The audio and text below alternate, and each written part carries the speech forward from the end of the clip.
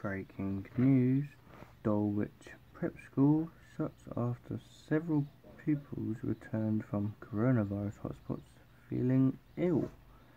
This is going to be a big worry throughout the UK now. This is going to be like dominoes.